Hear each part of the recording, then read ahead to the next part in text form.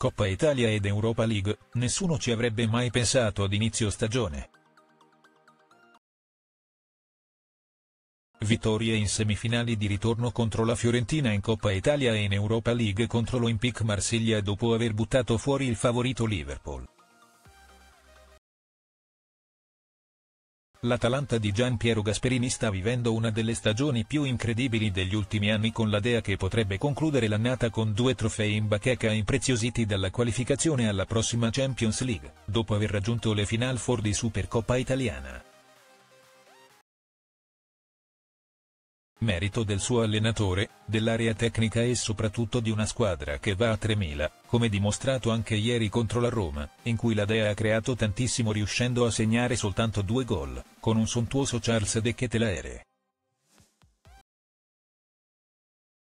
Altri 180 minuti, poi, oltre le due finali europee, per raggiungere l'ultimo obiettivo stagionale, il club del presidente Percassi ora è concentrato soltanto a mercoledì e alla finale di Coppa Italia contro la Juventus, che potrebbe regalare ai nerazzurri il primo dei due trofei stagionali.